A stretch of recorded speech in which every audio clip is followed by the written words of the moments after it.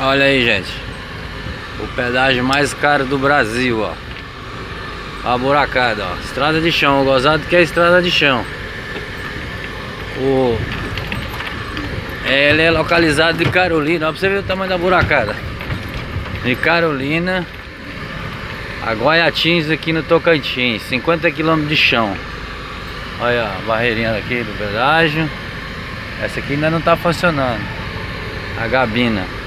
Ah, tá ali, ó. Os outros caminhões parados pagando pedágio. O caminhão grande, carreta, bitrem, paga 140 reais. Carregado. Vazio é 40 reais. Ah, o rodotrem são 200 reais. Na estrada de chão, de chão. Isso aqui é uma vergonha pro governo do estado do Maranhão. Isso aqui é de quebrar com tudo, cara. Não entende isso. O rapaz, o cara que cobra aqui, dá um recibozinho, mas não paga imposto nem nada não. É uma vergonha para o estado do Maranhão. Gente, compartilhe esse vídeo para que chegue até o governo do estado ou o presidente da república.